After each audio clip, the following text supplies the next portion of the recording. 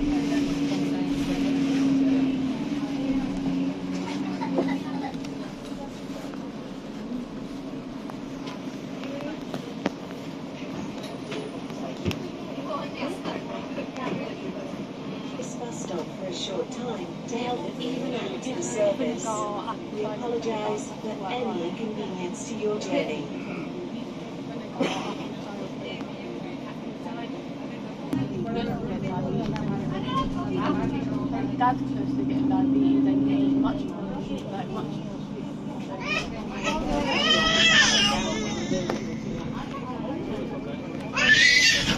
more.